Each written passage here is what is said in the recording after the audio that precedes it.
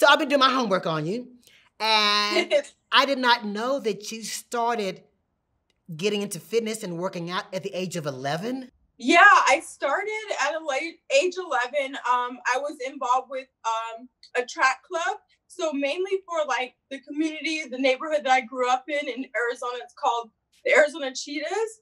And so I had a friend's mom started it. And so we kind of ran track from 11 through high school and kind of through college. So that's kind of how I started training and kind of falling in love with, just being active and being an athlete.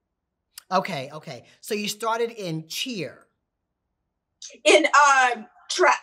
In track. Oh, of course.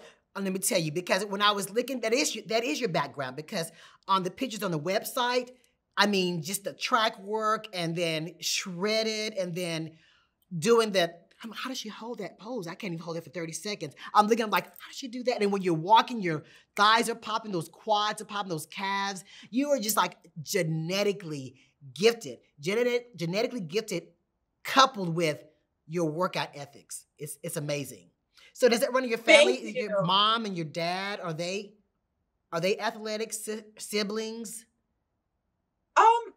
Actually, I have one other sib, two siblings that are active. Um, my brother played football for a while, and then I had another sister that's younger than me. I have six sisters, so one of them were like athletic, like I was. She ran track and broke some school records and that kind of thing. But as far as my parents, not at all. They were just very maybe gifted as far as genetic wise.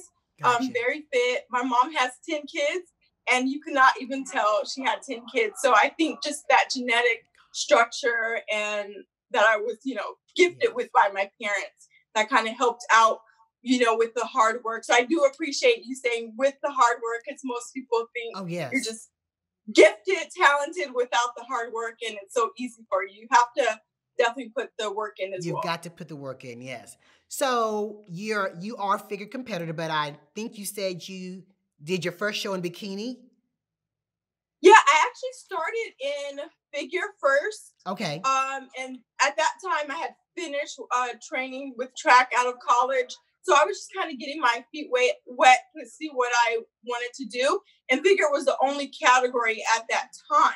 Right. And so I did it. I didn't have as much muscle. I was kind of scrawny, you know, just all legs, nothing else, no muscle kind of definition. And then once bikini came in 2009, I believe. Mm-hmm. Um, in 2010, I did a no, I think it was 2000. Yeah, 2010. I did a bikini competition, and I didn't like it at all. I'm not a very girly girl, so I'm very tomboyish. Um, and so I didn't find the bikini category to be something that I wanted to do. And then I returned back to figure and was like, you know what? I'm just gonna have to build the muscle and work my way up to having the structure of a figure competitor.